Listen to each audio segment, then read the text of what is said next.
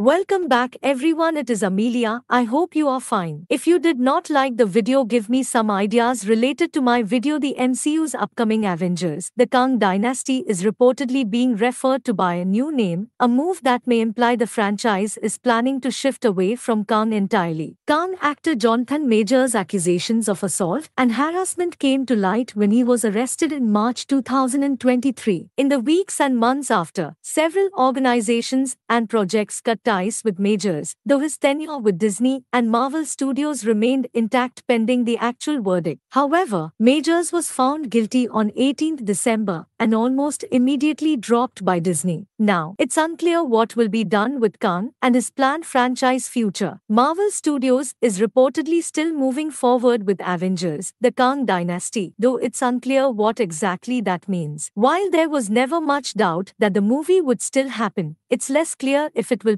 to a new villain or simply recast Majors Kang and move on as planned. However, a new report indicates that Kang's name has been dropped from Avengers 5 in internal communication at Marvel Studios. According to a report from there, the latest draft of the project formerly known as Avengers, the Kang Dynasty is now simply being referred to as Avengers 5. This coincides with the movie getting a new writer in Michael Waldron, known in the MCU for his work co-creating Loki and writing Doctor Strange in the Multiverse of Madness. Of course, this could very well mean that the play is to either entirely write Kang out of the project or significantly diminish his role. However, it's simply too early to tell. Right now, the Avengers 5 title change is strictly internal and has only been made public due to sources of there. That isn't to diminish the likelihood of it being accurate but it's clear that neither Disney nor Marvel Studios plan for the change in parlance to be public. Of Marvel's two options recasting Kang or pivoting away from the villain entirely the former certainly seems easier to implement smoothly. Kang may only have appeared in one feature film so far, Ant-Man and the Wasp Quantumania, but he's also starred into seasons 1 Loki, though neither has many dangling plot threads outside the introduction of the Council of Kangs. However, it's likely that each other upcoming MCU Phase 5 and 6 movies have been written with Avengers 5 in mind to some degree. While some of those projects likely have little to do with the MCU's larger narrative, others will presumably further Kang's overarching story. The other problem is that changing focus to a new villain now risks rushing the new antagonist story. Doctor Doom is a popular Kang replacement choice after a report indicated Marvel Studios already considered swapping him in.